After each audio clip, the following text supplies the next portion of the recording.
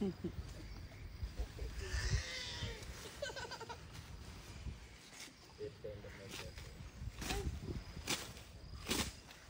Tong Bao, she very friendly and very gentle.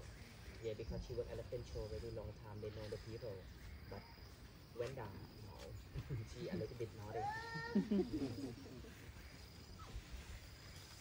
then she pulling the tree in a deep down.